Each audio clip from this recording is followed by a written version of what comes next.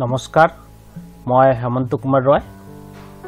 আজি আমি আলোচনা কৰিম উচ্চতৰ মাধ্যমিক দ্বিতীয় বৰ্ষৰ লজিক আৰু ফিলচফি টু থাউজেণ্ড ফিফটিনৰ কুৱেশ্যন পেপাৰখন এই কুৱেশ্যন পেপাৰখনৰ কেৱল শ্বৰ্ট কুৱেশ্যনখিনি মানে ওৱান মাৰ্কছৰ কুৱেশ্যনখিনি আজিৰ এই ভিডিঅ'ত আলোচনা কৰা হ'ব। আৰু টু মাৰ্কছৰ পৰা চাৰি পাঁচ মাৰ্কছৰ যিখিনি কুৱেশ্যন আছে সেইখিনি ইমান বহল হোৱাৰ কাৰণে সেইখিনি আলোচনা ইয়াত কৰা নহ'ব। যদি সেইখিনি আলোচনাৰ নোটছ বা কিবা প্ৰয়োজন হয় তেনেহ'লে কমেণ্ট কৰিব। আৰু যিসকল ছাত্ৰ ছাত্ৰী এতিয়ালৈকে মোৰ ইউটিউব চেনেল ছাবস্ক্ৰাইব কৰা নাই তেওঁলোকে তৰ্ক বিজ্ঞান আৰু দৰ্শনৰ আপ টু ডিগ্ৰীলৈকে যদি ক্লাছ চাব বিচাৰে তেনেহ'লে মোৰ চেনেলটো ছাবস্ক্ৰাইব কৰিব। টু থাউজেণ্ড ফিফটিনৰ কুৱেশ্যন পেপাৰ অনুসৰি শ্বৰ্ট কুৱেশ্যন যে বাৰটা শ্বৰ্ট কুৱেশ্যন দিয়া দিয়া আছে। আমি এই বাৰটা শ্বৰ্ট কুৱেশ্যনে ইয়াত আলোচনা কৰিম। তাৰপিছত এই শ্বৰ্ট কুৱেশ্যনখিনি আলোচনা কৰাৰ পিছত আমি বাকী যিখিনি কুৱেশ্যন ইয়াত উল্লেখ কৰা আছে সেই কুৱেশ্যনখিনি কেৱল দেখুৱাই যাম। টু থাউজেণ্ড ফিফটিনৰ লজিক এণ্ড ফিলচফি কুৱেশ্যন পেপাৰখনত যি প্ৰথম কুৱেশ্যনটো উল্লেখ আছে সেই কুৱেশ্যনটো হৈছে এনেকুৱা। Give a very short answer অতি চমু উত্তৰ দিয়া কুৱেশ্যনবোৰ এনেকুৱা। তাৰ ভিতৰত কুৱেশ্যন নম্বৰ এ তাৰমানে A question the premises of an inductive inference offer certainty for the truth of the conclusion is a true আগমন অনুমানৰ আশ্ৰবাক্যই সিদ্ধান্তৰ সত্যতাৰ নিশ্চয়তা সাব্যস্ত কৰে। এইটো সত্যনে আমি জানো এই কথাটো সত্য নহয়। আগমন অনুমানৰ আশ্ৰবাক্য সিদ্ধান্ত সত্যতা নিশ্চয়তা সাব্যস্ত নকৰে। গতিকে এইটো সত্য নহয়। তাৰপিছত B question question number B which of the following statement is true নিম্নোক্ত কোনটো উক্তি সত্য? তাৰমানে তলত কেইটামান কুৱেশ্যন দিয়া আছে, উক্তি দিয়া আছে। তাৰ ভিতৰত কোনটো সত্য আমি সেইটোৱে বাছি উলিয়াব লাগে। ইয়াত প্ৰথম এক নম্বৰত দিয়া আছে, কাৰ্যকৰণ বিধি হৈছে আগমনৰ বস্তুগত ভিত্তি। এই কথাটো সত্য নহয়, এইটো ভুল। কাৰণ আমি ইতিমধ্যে জানো যে কাৰ্যকৰণ বিধি হৈছে আগমনৰ আকাৰগত ভিত্তি। গতিকে দুই নম্বৰ কুৱেশ্যনটো এতিয়া চাম। দুই নম্বৰ অপশ্যনটো observation and the law of causation are the formal grounds of induction observation and law of causation are the formal grounds of induction নিৰীক্ষণ আৰু কাৰ্যকৰণ বিধি হৈছে আগমনৰ আকাৰগত ভিত্তি।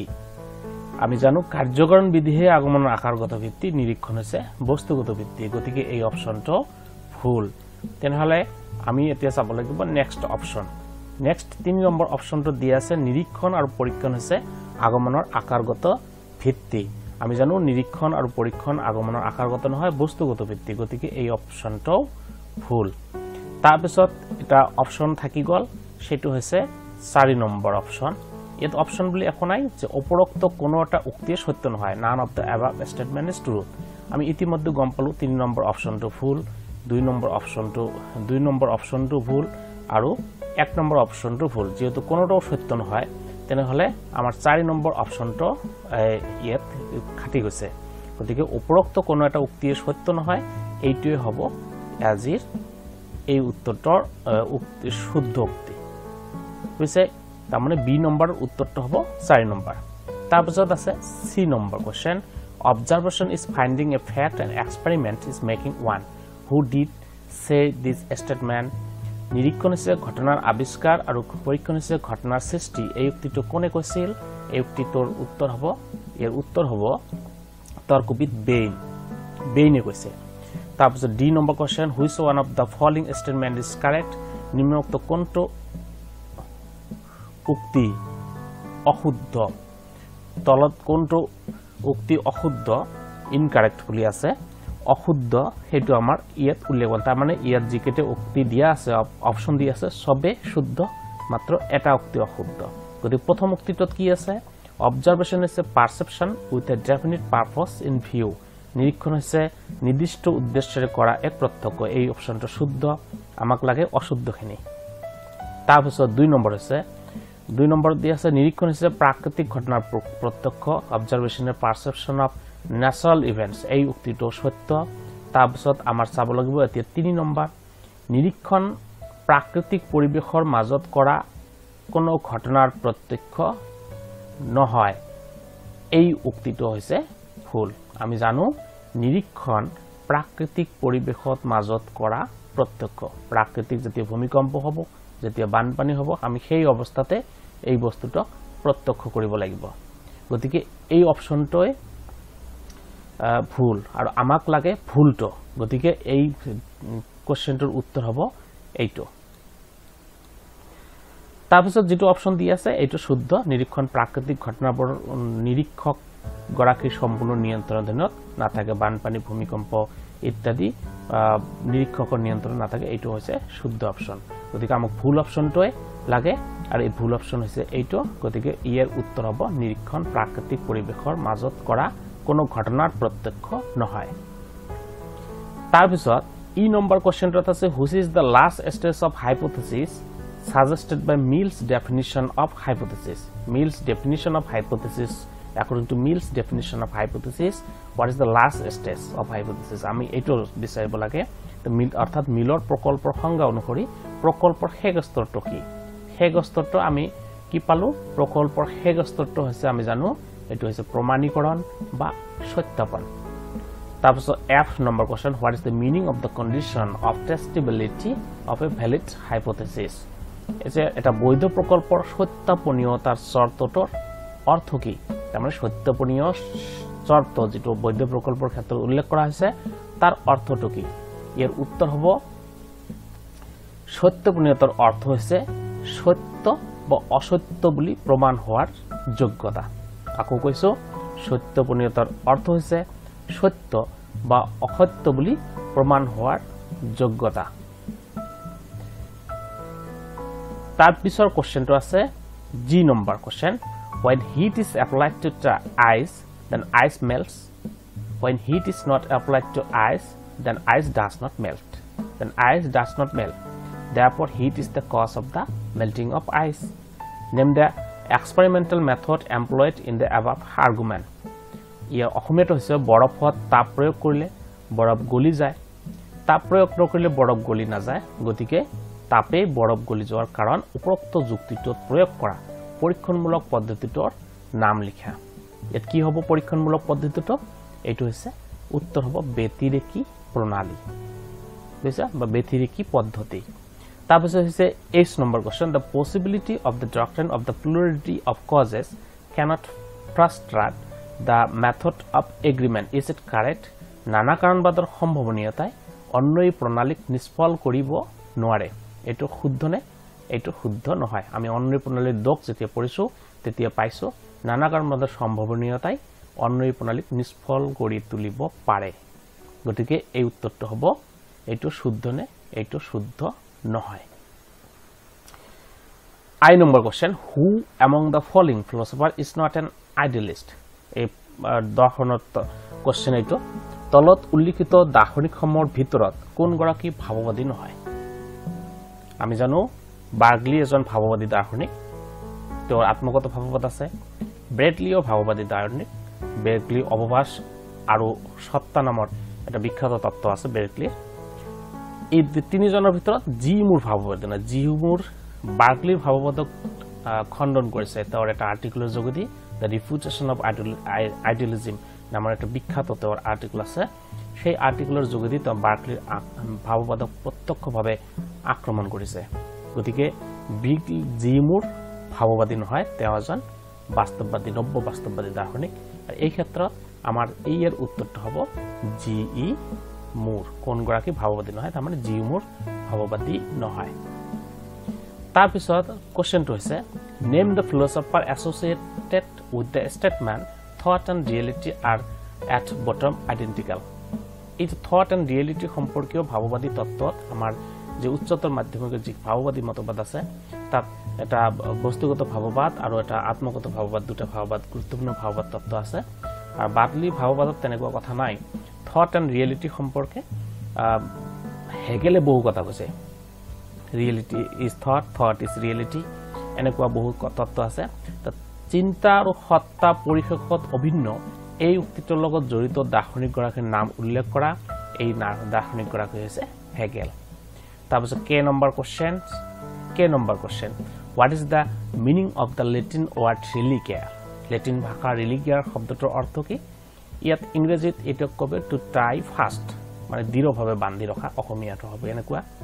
বা আমি সংক্ষেপে যদি কওঁ bond B N D bond মানে B O' N D bond bond হ'ব বণ্ড অৰ্থাৎ বন্ধন। গতিকে আমি লিখিব পাৰোঁ দৃঢ়ভাৱে বান্ধি ৰখা অথবা বন্ধন সংক্ষেপে বন্ধন লিখি দিলে অসমীয়াত হৈ যাব আৰু ইংৰাজীত বণ্ড তাৰপিছত যিটো কুৱেশ্যন আছে সেইটো লাষ্ট এক নম্বৰ কুৱেশ্যন সেইটো হৈছে mention any one similarity between religion and morality ধৰ্ম আৰু নৈতিকতাৰ মাজত থকা যিকোনো এটা সাদৃশ্য উল্লেখ কৰা।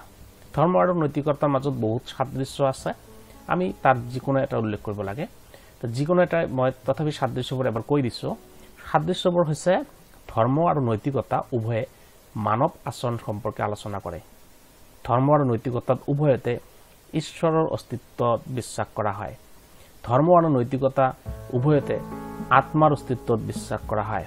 ধৰ্ম আৰু নৈতিকতা উভয়ে পৰম কল্যাণক আদৰ্শ হিচাপে আলোচনা কৰে। যি নহওক ইমান আমাৰ জনাৰ দৰকাৰ নাই। আমি যিকোনো এটা ইয়াত সাদৃশ্য লিখিব লাগে। আমি যদি যিটো সহজে মনত থাকিব তেনেকুৱা এটা সাদৃশ্য ধৰ্ম আৰু নৈতিকতাত উভয়তে আত্মাৰ অস্তিত্বত বিশ্বাস কৰা হয়। বা ধৰ্ম আৰু নৈতিকতা উভয়তে মানৱৰ আচৰণ সম্পৰ্কে আলোচনা কৰা হয়। যিকোনো এটা লিখিলে হৈ যাব। তাৰপিছৰ পৰা আৰম্ভ হ'ল দুই নম্বৰ টু মাৰ্কছৰ কুৱেশ্যন ইয়াত টু মাৰ্কছৰ কুৱেশ্যন দিয়া আছে। নিগমন আৰু আগমন অনুমানৰ মাজত যিকোনো দুটা পাৰ্থক্য। তাৰপিছত আছে উপযুক্ত উদাহৰণস্বৰূপ কুসাদৃশ্যমান আৰু দুসাদৃশ্যমান অনুমানৰ সংজ্ঞা। উদাহৰণস্বৰূপ সংজ্ঞা দিব লাগে। তাৰপিছত চাৰি নম্বৰ কুৱেশ্যন আছে সাদৃশ্যমূলক অনুমানৰ যিকোনো এটা বৈশিষ্ট্য উল্লেখ কৰা। পাঁচ নম্বৰত আছে উদাহৰণস্বৰূপ উপাদান কাৰণৰ সংজ্ঞা দিয়া। ছয় নম্বৰত আছে মিলৰ আগমনৰ বিৰোধাভাসৰ বিৰুদ্ধে যিকোনো এটা সমালোচনা চমুকৈ ব্যাখ্যা কৰা। তাৰপিছত আছে অৰ বা নাইবা কুৱেশ্যন এটা দিছে ইয়াত অৰ হিচাপে মিলৰ আগমনৰ বিৰোধাভাসত কিয় চক্ৰক ঘটা বুলি কোৱা হয়? সাত নম্বৰ কুৱেশ্যন হৈছে কাৰ্যকৰী প্ৰকল্প বুলিলে কি বুজা? ইত্যাদি। এনেকৈ আমাৰ বহু কুৱেশ্যন ইয়াত দিয়া আছে। এই কুৱেশ্যনবোৰ মই কেৱল দেখুৱাই দিছোঁ।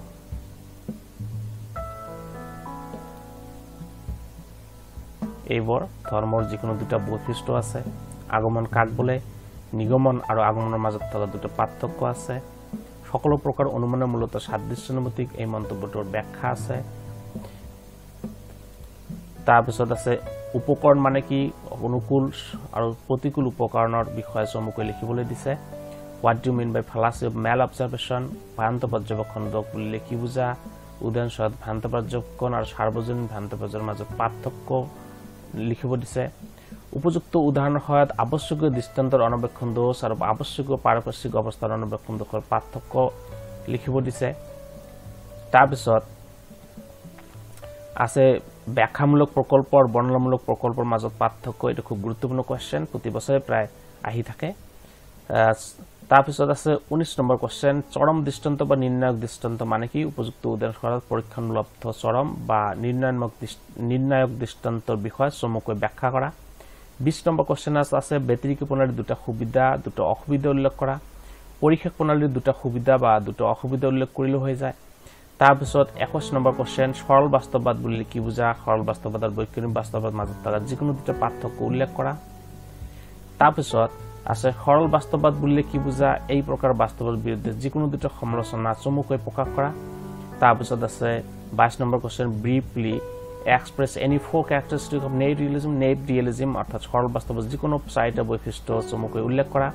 বৈজ্ঞানিক বাস্তৱত যিকোনো চাৰিটা বৈশিষ্ট্য উল্লেখ কৰা। হোৱাট ইজ হেবিচুৱেল একশ্যন অভ্যাসজনিত ক্ৰিয়া মানে কি? এই প্ৰকাৰ ক্ৰিয়া কিয় নৈতিক বিচাৰ বিষয়বস্তু হিচাপে বিবেচনা কৰা হয়? সেই সম্পৰ্কীয় এটা কুৱেশ্যন আছে। তাৰপিছত আছে তোমাৰ নিজৰ ভাষাত অন্য প্ৰণালীৰ সংজ্ঞা দিয়ে। এই পদ্ধতিৰ এনে এটা বাস্তৱ উদাহৰণ দিয়া য'ত আমি কাৰ্যৰ পৰা কাৰণলৈ অগ্ৰসৰ হওঁ। এই প্ৰণালীটো কিয় মূলত নিৰীক্ষণৰ প্ৰণালী বোলা হয়? এনেকৈ তিনিটা ভাগত এই কুৱেশ্যনটো দিছে। তাৰপিছত তোমাৰ নিজৰ ভাষাত পৰিশোধ প্ৰণালীৰ সংজ্ঞা দিয়ে কিছুমান তৰ্কবিধি এই প্ৰণালীটো কিয় নিগমনাত্মক বুলি বিশ্বাস কৰে ব্যাখ্যা কৰা। তাৰপিছত আছে দৰ্শনৰ কুৱেশ্যন বাকলিৰ আত্মনিষ্ঠ ভাৱবাদ কি? বাকলি কিয় যুক্তি মুখৰ গৌণ গুণসমূহ অভিন্ন বুলি কৈছে? তাৰপিছত আছে ইয়াত অৰ হিচাপে দিছে হেগলৰ বস্তুনিষ্ঠ ভাৱবাদৰ সমালোচনাত্মক ব্যাখ্যা আগবঢ়োৱা। ছাব্বিছ নম্বৰ কুৱেশ্যনত আছে ঐচ্ছিক ক্ৰিয়াৰ মানসিক স্তৰত থকা বিভিন্ন উপাদানসমূহ যিকোনো তিনিটাৰ বিষয়ে চমুকৈ আলোচনা আগবঢ়োৱা। তাৰপিছত আছে অনৈতিক ক্ৰিয়া বুলিলে কি বুজা? যিকোনো পাঁচটা অনৈতিক ক্ৰিয়াৰ চমু ব্যাখ্যা আগবঢ়োৱা। আৰু শেষত কুৱেশ্যন কেইটা আছে সাতাইছ number question critically explain any one of the following যিকোনো এটা বিষয়ে ব্যাখ্যা কৰিব দিছে। ধৰ্ম হৈছে নৈতিকতাৰ উৎস। Morality is the source of religion নৈতিকতাৰ নৈতিকতা হৈছে ধৰ্মৰ উৎস। আৰু তিনি নম্বৰ দিছে ধৰ্ম আৰু নৈতিকতা পৰস্পৰ পৃথক। মানে ধৰ্ম আৰু নৈতিকতাৰ সম্বন্ধ সম্পৰ্কীয় আলোচনাত এই গোটেইখিনি কথা ভাগে ভাগে আলোচনা কৰা আছে। যি নহওক এইখিনিয়ে টু থাউজেণ্ড ফিফটিনৰ এইচ এছ ছেকেণ্ড ইয়েৰৰ কুৱেশ্যন পেপাৰ যাত শ্বৰ্ট কুৱেশ্যনখিনি মই ইতিমধ্যে আলোচনা কৰিছোঁ। আৰু বাকী যিখিনি বৰ্ড কুৱেশ্যন আছে সেইখিনি আলোচনা কৰা সম্ভৱ নহয়। এইখিনি আলোচনা কৰিলে বহু সময় লাগি যাব। যদি কাৰোবাৰ কোনোবা ছাত্ৰ ছাত্ৰীৰ কোনোবা বিশেষ এটা কুৱেশ্যনৰ উত্তৰ নজনা থাকে যদি জানিব প্ৰয়োজন হয় তেনেহ'লে কমেণ্ট কৰিলে হ'ল। আৰু আৰু নোটছৰ কাৰণে বিশেষকৈ নোটছৰ কাৰণে নোটছৰ কাৰণে ছাত্ৰ ছাত্ৰীসকলক কৈছোঁ যিসকল ছাত্ৰ ছাত্ৰী নোটছৰ সমস্যাত ভুগি আছে তেওঁলোকে মোৰ এটা ব্লগ আছে Hemanta's classroom dot blog spot dot com বুলি। সেই ব্লগটোত গুগলত চাৰ্চ কৰিলে হ'ল। সেই চাৰ্চ কৰিলে তাৰ পৰা মোৰ নোটছখিনি তাতে পাই যাব আৰু যদি তাৰ পৰা ডাউনলোড কৰিব বিচাৰে ডাউনলোড কৰি ল'ব পাৰিব। আৰু এই কুৱেশ্যন পেপাৰখন যদি ডাউনলোড কৰিব বিচাৰে সেই ব্লগতে পাই যাব। অথবা এই ভিডিঅ'ৰ ডেছক্ৰিপশ্যনত কুৱেশ্যন পেপাৰৰ লিংকটো দিয়া থাকিব ব্লগৰ লিংকটো দিয়া থাকিব তাৰ পৰা গৈও ডাইৰেক্ট নোটছখিনি পঢ়ি যাব পাৰে। অথবা কুৱেশ্যন পেপাৰ যদি লাগে তে কুৱেশ্যন পেপাৰখনো ডাউনলোড কৰি ল'ব পাৰে। যি নহওক আজিলৈ এইখিনিয়ে। যদি ভিডিঅ'টো ভাল লাগিছে তেনেহ'লে মোৰ চেনেলটো ছাবস্ক্ৰাইব কৰিব। 吞了吧。